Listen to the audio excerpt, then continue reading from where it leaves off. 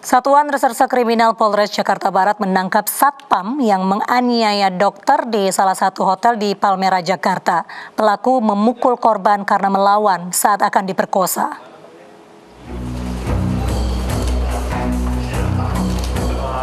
Satuan Reserse Kriminal Polres Jakarta Barat menangkap pelaku penganiayaan dokter yang terjadi di hotel yang berada di Jalan Kota Bambu Selatan, Palmerah, Jakarta.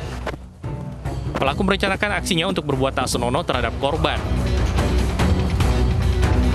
Korban yang mengikuti pelatihan sertifikasi dokter spesialis jantung diajak pelaku ke lantai 6 hotel. Di dalam lift, pelaku berbuat tak senonoh dan meminta uang Rp500.000 kepada korban. Saat tiba di lantai 6, korban hendak diperkosa. Karena melawan, pelaku memukul kepala korban dengan kunci Inggris. Kemudian diarahkan oleh pelaku itu ke lantai 6.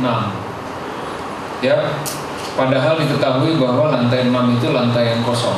Jadi memang sudah ada niatnya untuk uh, melakukan perbuatan jahat.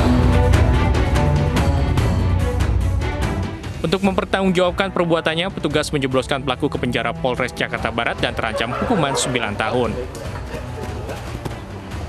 Dari Jakarta, Miftahul Gani, iNews melaporkan.